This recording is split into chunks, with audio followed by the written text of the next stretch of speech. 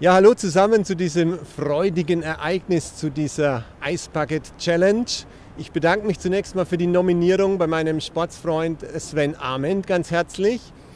Und ich bin zutiefst gerührt, die große Zahl der Zuschauer, die hier außen rumsteht und die dem entgegenfiebert, dass ich heute hier mit Eiswasser getauft werde.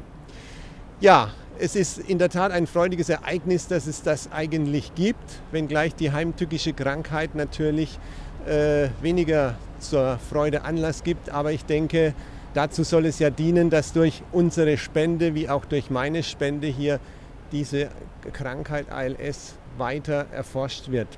In diesem Sinne will ich Sie alle nicht mehr länger auf die Folter spannen, will Ihnen aber noch mal gerne hier die Kontaktadresse zeigen. Ah ja, ich habe noch ganz vergessen, nominiere tue ich. Wen ich nominiere? Natürlich unsere, meinen, meinen Spessart-Landrat und Sportfreund Thomas Schiebel, meinen Bürgermeister aus der Stadt Gemünden, Jürgen Lippert und meine liebe Landtagskollegin Gabi Schmidt. Ja, und jetzt wird es langsam ernst.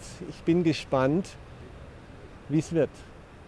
Aber lassen wir uns überraschen.